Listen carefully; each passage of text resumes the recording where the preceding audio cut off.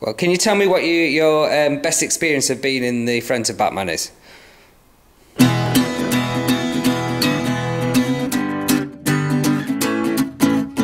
Some drunk guy came on stage and detuned Jim's guitar, and then it ended up with a particularly disastrous song about Audrey Hepburn. Position it's illegal in Wales. We played him a song called Irish Wolfhounds. Phil sang a ukulele stuffed up his arse. The guy just ran off, and ever since then, every song we've played, people just ran off.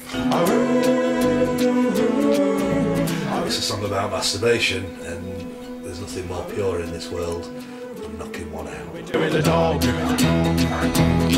We're doing the dog. This is bullshit, man. Bullshit.